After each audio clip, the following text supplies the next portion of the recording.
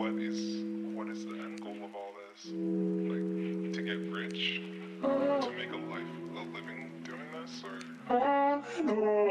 On Sunday's stage, the North London clash. Arsenal and Tottenham, emotions to amass. A rivalry fierce with history's rich lore.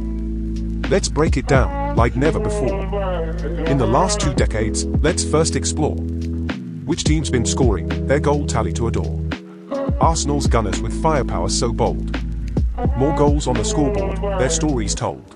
With Henry, Bergkamp, and the mighty Vieira. Arsenal's legends, each one a top scorer. But hold on, Spurs fans, don't despair. In recent years, your team's been more than fair. With Kane and Son, their lethal duo's charm. In the back of the net, they've caused no harm. Now, let's shift our focus, closer look we'll take. At fouls and cards, and who's at stake. Arsenal, it seems, with their fair share of bite. Yellow and red cards, they've seen the light. But Tottenham, not innocent in this fierce bout. They've had their moments, without a doubt. From Sol Campbell's switch to the Spurs' dismay. To Ozil's magic in Arsenal's display. Red and yellow cards, a part of the game. In the heat of the derby, things are never the same. So, as Sunday approaches, the tension does rise. The North London derby, the grand prize.